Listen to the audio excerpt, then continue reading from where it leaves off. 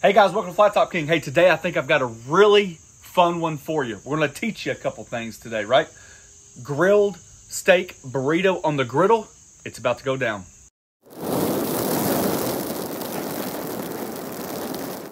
All right, through the process, I've learned and learned and learned that you guys are basically a sponge for knowledge. And this is one of the very few times I can give you a little trick to help your food go from here to here I can't believe it's taken us this long to do it, but you have to find the right reason to do it. Today is no different. The idea, we're just going to make a massive burrito, put all your favorite toppings on there. The kicker is the rice. So we're kind of splitting up the video and show you a really cool way to up your flavor for rice. Now, the rice can be used like this in any method. Rice pilaf, you name it. As long as you don't get the packaged rice where the seasoning's already mixed up in there, you're good to go. As long as you have a solid flavored rice or the rice seasoning packet is separate, you're going to be fine. We're going to toast the rice and char the onions, which is going to, oh, the flavor is just out of this bounds.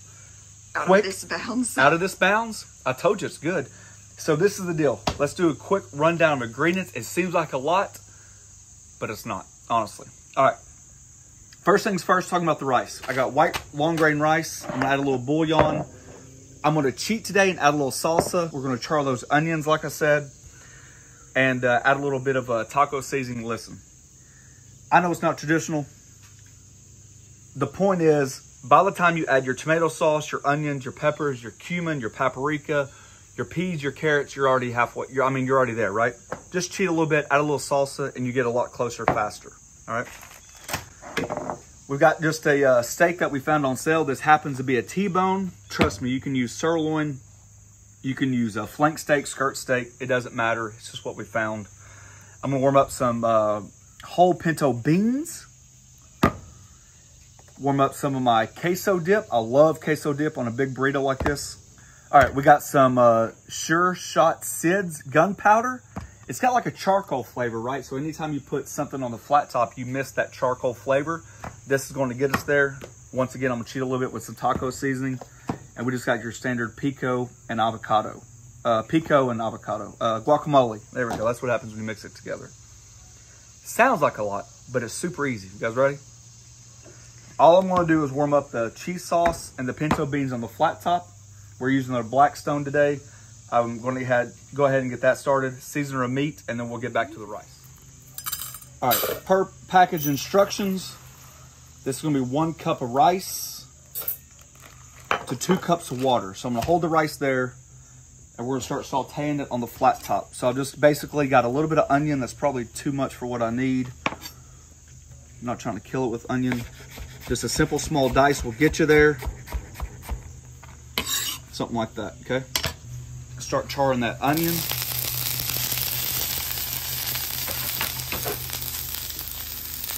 With that rice. Now what you're looking for is like a toast. You want to turn the color of the rice. I'm telling you, the depth of flavor is out of bounds. In the Navy, we used to do this. I think you guys really liked my uh, rendition of pepper steak. So this is one of the secrets that we had, maybe just a touch more. See how the rice is already starting to brown? You see that? Mm -hmm. You do see that? How the onions are getting charred already? Mm. While that's going, we're gonna start building our sauce.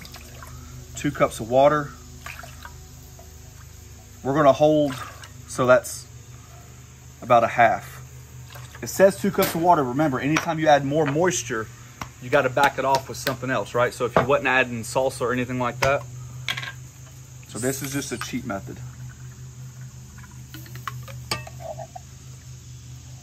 So half a cup of salsa, and it was about one and three quarter cup water. Correct. I'm gonna add just a little bouillon. You can add chicken, beef, vegetable. I'm gonna say a little bit, uh, about a tablespoon of bouillon. I'm gonna hit it with just a touch of taco seasoning.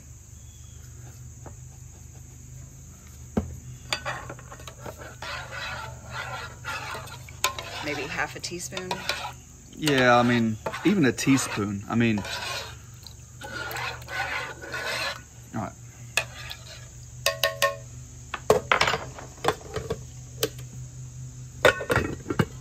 All right, see how much color we picked up now? That's what I'm talking about. You can actually smell it.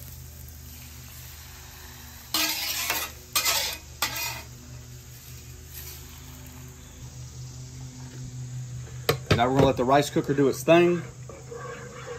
And you're gonna have some really good flavorful rice before you know it. While our rice is cooking, I'm just gonna season our uh, T-bone up today.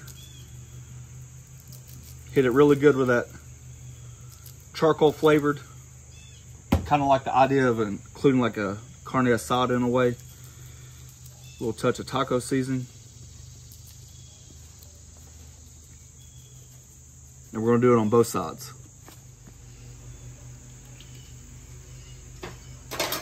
Just throw a little avocado oil down. Woo.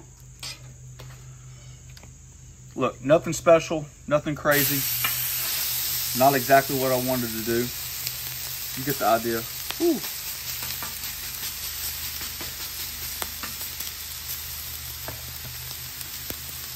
I'm using the griddle just like you would a hot spot on the stove, right? I've moved my beans from the corner where it's cooler to the hot spot of my griddle, and now you can see my beans are starting to come up to boil. That's what I'm looking for. All right, you're gonna cook the steak to what temperature you like it. We're gonna shoot for like a medium rare. It does not take long. It actually takes quicker than what you expect.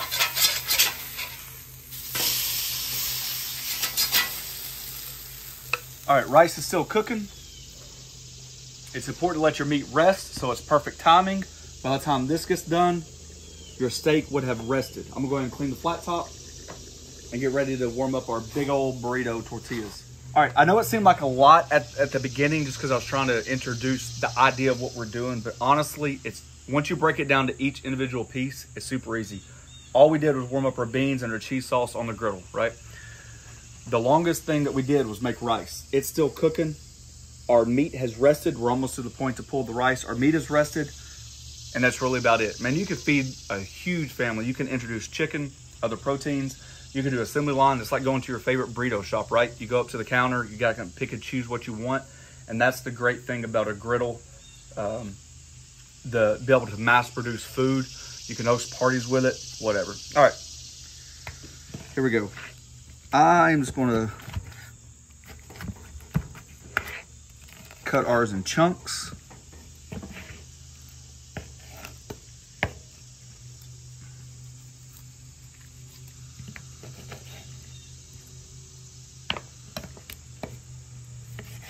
Look at all those charred bits on there. Mm, mm, mm, mm.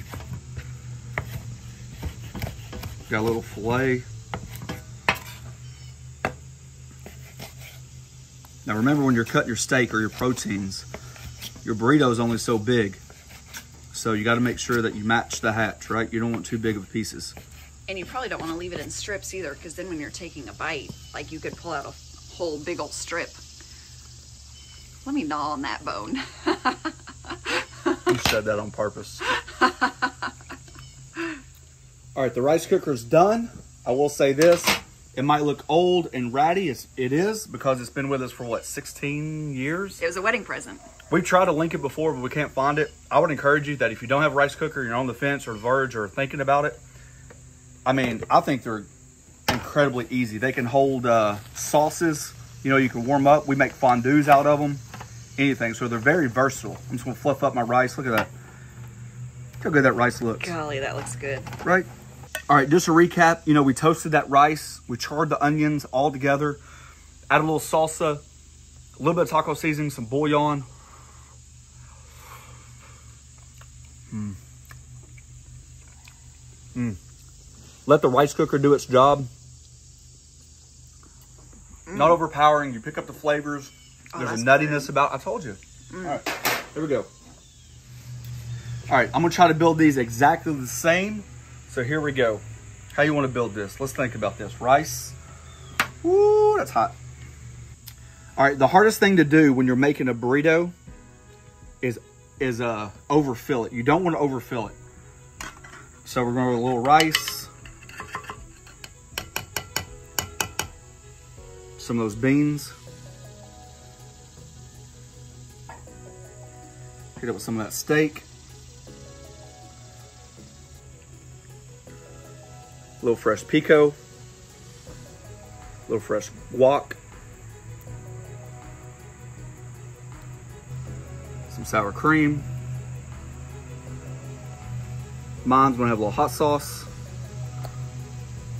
And last but not least, don't forget, some of that cheese sauce. You can use shredded cheese. All right, here's the trick. Wings, right? V. Up and over, grab the ingredients, back, left, right. Just like that.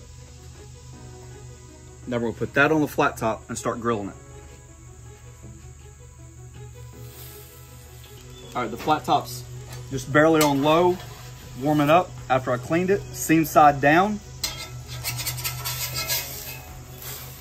Oh yeah, see that grill? That's what we're doing, just grilling our burrito, just lightly oil.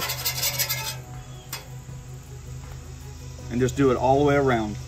All right guys, look, I've just been rolling it back and forth, just grilling it on the sides, just like that. Now look, if you want to get very, very technical, you can throw some cheese down, make like a cheese crust on top of it that would just throw it over the top. I didn't feel like doing that today. A little over my flavor zone right now. All right, guys, there you go. Super easy. I, I mean, I don't know. I don't know about easy. I thought it was easy. I know one thing. You got the meat, the rice, the beans, all that. Mm.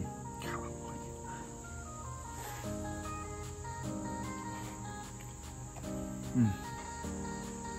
Heaven. I love these dang things. Take a big old bite. Save some for me now. Mm. I just like the addition of grilling tortilla. Mm. I just think it mm. adds flavor. The rice pops out, right? A little bit of spice hits you, not too much. You get the creaminess. Fantastic. You can do it a thousand different ways. That's what's great about these recipes. If you guys are interested, we have a join button down below. This way you guys can help out the channel, behind the scenes, extra videos. You guys get like first look at some of the videos we do. Last but not least, if you haven't checked out The Griddle Group on Facebook, it's where we get inspiration, where you guys share your stories back and forth. It's where we communicate with you guys. Thanks for watching. Don't forget to press that subscribe button, pound the notification button, share it with your friends. Grilled burrito, going the extra mile, doing the extra little bit here and there. Mm. So good. It is good. Mm, right. good.